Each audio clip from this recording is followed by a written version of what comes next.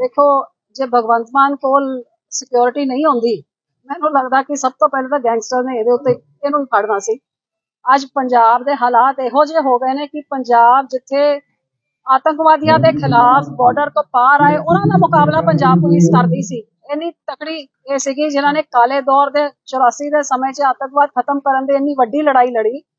ਅੱਜ ਇਸ ਕਮਜ਼ੋਰ ਲੀਡਰਸ਼ਿਪ ਨੇ ਇੱਕ ਪੰਜਾਬ ਦੀ ਸਾਜ਼ਿਸ਼ ਦੇ ਤਹਿਤ ਅੱਜ ਸਾਡੀ ਇਸ ਮਹਾਨ ਪੰਜਾਬ ਪੁਲਿਸ ਨੂੰ ਇੰਨਾ ਲਾਚਾਰ ਬਣਾਤਾ ਹੈਗਾ ਕਿ ਇਹ ਮਖੌਟੇ ਦੇ ਬਾਹਰੋਂ ਆ ਕੇ ਜਿਹੜੇ ਗੱਲ ਤਾਂ ਕਰਦੇ ਨੇ ਅੰਮ੍ਰਿਤ ਸੰਚਾਰ ਦਾ ਤੇ ਕਲੀ 'ਚ ਆਪਣਾ ਸਿਰ ਰੱਖ ਕੇ ਕੁਰਬਾਨੀਆਂ ਦੀ ਵੱਡੀ ਗੱਲਾਂ ਕਰਕੇ, ਲੇਕਿਨ ਆਪ ਦੀ ਨਿੱਜੀ ਲੜਾਈ ਲੜਨ ਵਾਸਤੇ ਤਾਂ ਗੁਰੂ ਸਾਹਿਬ ਨੂੰ ਢਾਲ ਬਣਾ ਕੇ ਲੜਾਈ ਲੜਦੇ ਨੇ। ਤੇ ਉੱਥੇ ਜਾ ਕੇ ਪੁਲਿਸ ਨੂੰ ਕੁੱਟਮਾਰ ਕਰਨ ਤੇ ਜਾ ਕੇ ਥਾਣੇ ਦੇ ਉੱਤੇ ਕਬਜ਼ਾ ਕਰਨ ਤੇ ਪੰਜਾਬ ਪੁਲਿਸ ਜਿਹੜੀ ਆਤੰਕਵਾਦੀਆਂ ਦੇ ਨਾਲ ਲੜਨ ਵਾਲੀ ਹੈ, ਜਿਹੜੇ ਵੱਡੇ ਵੱਡੇ ਲੜਾਈਆਂ ਤੇ ਸ਼ਾਂਤੀ ਪੰਜਾਬ 'ਚ ਲਾਉਣ ਵਾਲੀ ਹੈ, ਉਹਦੇ ਸਾਹਮਣੇ ਝੁਕ ਜਾਏ। ਇਹ ਪੰਜਾਬ ਪੁਲਿਸ ਨਹੀਂ ਝੁਕੀ।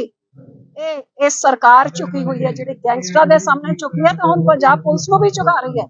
ਤੇ ਦੁੱਖ ਦੀ ਗੱਲ, ਭਗਵੰਤ ਮਾਨ ਜੀ, ਜੇ ਤੁਹਾਡੀ ਲੱਤਾਂ ਇੰਨੀਆਂ ਕਮਜ਼ੋਰ ਹੈ, ਨਾ ਪਾਣੀ ਦਾ ਪੰਜਾਬ ਪੰਜਾਬ ਦਾ ਪਾਣੀ ਬਚਾ ਸਕਦੇ ਹੋ, ਨਾ ਰਾਜਧਾਨੀ ਬਚਾ ਸਕਦੇ ਹੋ, ਨਾ ਗੈਂਗਸਟਰਾਂ ਦਾ ਮੁਕਾਬਲਾ ਕਰ ਸਕਦੇ ਹੋ, ਤੇ ਫਿਰ ਛੱਡ ਦਿਓ ਤੁਸੀਂ। ਤੇ ਨਾਲ ਆਪਦੇ ਡੀਜੀਪੀ ਨੂੰ ਵੀ ਲੈ ਜਾਓ ਕਿ ਪੰਜਾਬ ਦੀ ਅਮਨ ਸ਼ਾਂਤੀ ਕਾਇਮ ਰਹੇ। ਇਹਦੇ ਵਾਸਤੇ ਸ਼੍ਰੋਮਣੀ ਅਕਾਲੀ ਦਲ ਦੇ ਬਾਦਲ ਸਾਹਿਬ ਨੇ ਸਾਰੀ ਉਮਰ ਲਗਾ ਦਿੱਤੀ। ਭਾਈਚਾਰਕ ਸਾਂਝ ਨੂੰ ਕਾਇਮ ਰੱਖਣ ਵਾਸਤੇ, ਅਮਨ ਸ਼ਾਂਤੀ ਨੂੰ ਕਾਇਮ ਰੱਖਣ ਵਾਸਤੇ ਆਪਾਂ ਸਾਰਾ ਕੁਝ ਵਾਰਨ ਨੂੰ ਤਿਆਰ ਹੈ। ਤੁਹਾਨੂੰ ਇੰਨੀ ਬੇਨਤੀ ਹੈ ਸਾਲ ਭਰ ਜੇ ਲੋਕਾਂ ਨੂੰ ਦੇਖ ਲਿਆ, ਜੇ ਤੁਹਾਡੇ ਤੋਂ ਨਹੀਂ ਸੰਭਲਦਾ, ਫਿਰ ਛੱਡ ਦੋ। ਨਾਲੇ ਮੈਂ ਕੇਂਦਰ ਦੀ ਸਰਕਾਰ ਨੂੰ ਵੀ ਬੇਨਤੀ ਕਰਦੀ ਹਾਂ। ਉਹ ਤਾਂ ਕੋਈ ਮਾੜਾ ਮੋਟਾ ਕੁਝ ਕਹਿ ਵੀ ਦੇ, ਤੇ ਤੁਸੀਂ ਜਾ ਕੇ ਉਸ ਬੰਦੇ ਨੂੰ ਫੜ ਲੈਂਦੇ ਹੋ। ਆ ਸ਼ਰੇਆਮ ਇੱਕ ਬੰਦਾ ਕਹਿ ਰਿਹਾ, ਮੈਂ ਹਿੰਦੁਸਤਾਨ ਦਾ ਨਾਗਰਿਕ ਹੀ ਨਹੀਂ ਆ ਇਹ ਪਾਸਪੋਰਟ ਦਾ ਮੇਰੇ ਵਾਸਤੇ ਕੋਈ ਮਤਲਬ, ਇਹ ਵੱਖਵਾਦੀ ਨਹੀਂ ਤਾਂ ਕੀ ਹੈਗਾ?